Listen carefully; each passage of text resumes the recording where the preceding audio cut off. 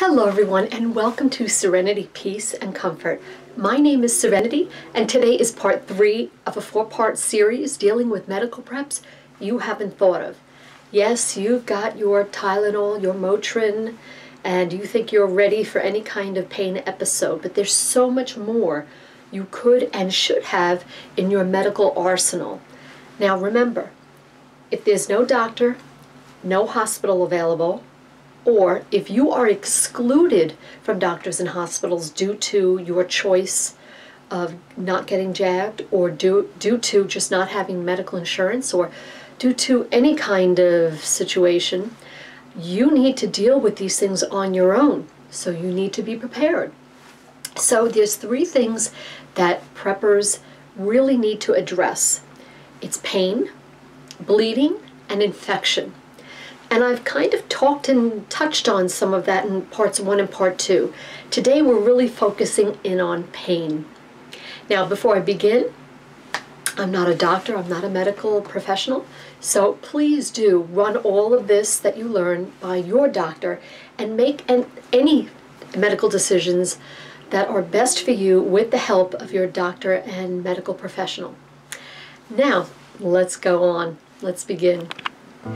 There are lots of things that we have in our medical arsenals and in our stashes that help us deal with pain. And that's good. And these are things we should have. But this is not all. There are lots of other great ideas, some even obscure, that we should have in our medical arsenals to deal with pain.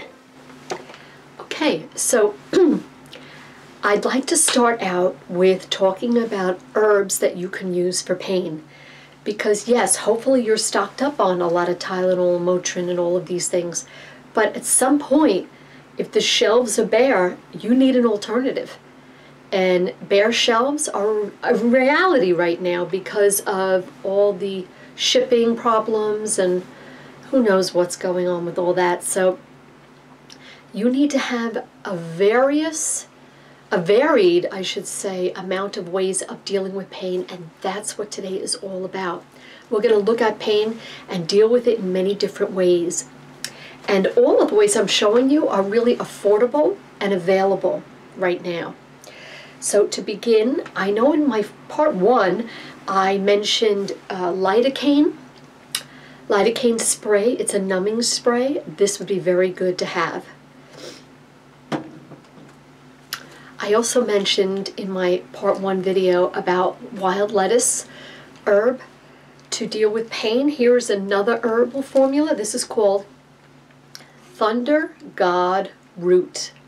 Yes, Thunder God Root. Yes, it's a Chinese herb. I have not tried this yet. It's new to me. And uh, so I'm ready that at the first sign of any kind of pain, I'm going to try this and see how it works. And I think that's an important point. You know, this is the time when we should be trying things out, learning and experimenting to see what works for us. You don't want to wait till a major episode hits you to figure all this thing out. So this is the time.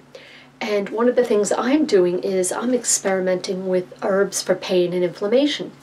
And so I am growing, this is stinging, stinging nettle, and this herb is good for uh, pain also, especially um, like osteoarthritic pain. So I'm hoping to uh, wait till it gets more big and lush, and I'm going to make a tincture out of this and then hold on to it for the future. And that's what I mean when I say this is the time to start doing stuff like this. Um, learning and growing and, and figuring out what would work for you and how to do things because the time may come where you have no choice. Now, I have to grow this inside my apartment. I don't own any land. I don't have a farm. But a lot of you do. And you should definitely be experimenting with medicinal herbs right now. Okay, so now dealing with pain that is not an herbal formula, I'd like to introduce this wonderful I guess, device you would call it. This is a Kailo. And it looks like this. And it's all about nanotechnology, which I can't even begin to explain to you, but you can go online and look it up. But it is this copper panel that you just take uh, the plastic backing off and then you can stick it on your arm or wherever your pain is and it really does help relieve the pain. It's, it's fascinating how it works. Um, again, I won't begin to explain it, but it does. I have to say, this does work. It is pricey though. This was about a hundred bucks or so, uh, but it was worth it for me to uh, get it and work with it, experiment with it. I think this is a great thing to have on hand. And of course, because it's so expensive, I would be saving this for a time when I really, really need it. So I'm not going to waste it. You, it, um, I don't know how long it lasts, but I know the backing eventually goes out and uh, it loses its stickiness at some point after a couple of uh, applications. But nevertheless, this is a great thing to try. And I would definitely have this in your medical arsenal. Next, another way to deal with pain is where does a lot of pain come from? Well, a lot of pain comes from our backs. So for me, I keep a lot of devices that will help me with back and spinal pain and nerve pain. And so I picked up this very simple acupressure mat. You just lay on it for a few minutes. It feels great. It releases those muscles. And it cost me, I don't know, 20 bucks or something like that. It was very affordable and worth having. Okay. Next, this interesting thing here. This is called a Fisher Tract Traction. I can find the name. Here we go.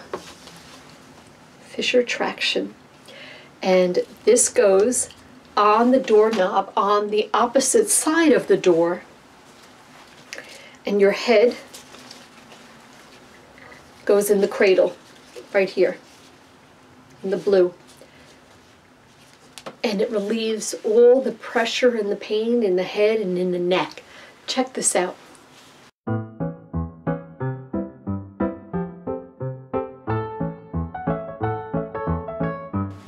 So, again, something wonderful to have uh, in your medical arsenal. Um, keeping in mind that the days of running to a chiropractor may be over in, in an SHTF scenario.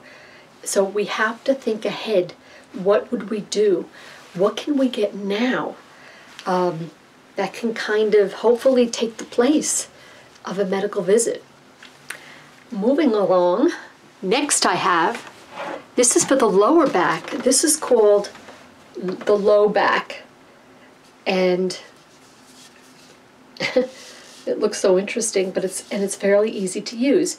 You lay on your back and you you put these on your thighs and as you press down, you are releasing your lower back and your spine and those nerves. Check this out.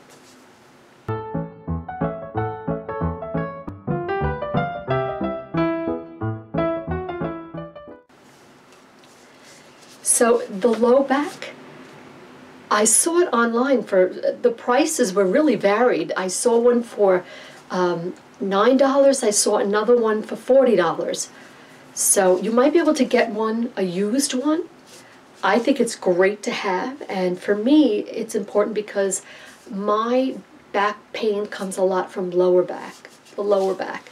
So um, this is something that um, I keep in my arsenal, and if I ever need it, I've got it, and uh, this kind of stuff will come to the rescue when you one day either can't get to a chiropractor or doctor, can't afford to get to a chiropractor or doctor, or you're not allowed to go see a chiropractor or doctor. As crazy as it is to say that, I would never think in America that that would even be a thing. But we just, the days we're living in, we just don't know. Now, here comes one of my favorite medical preps.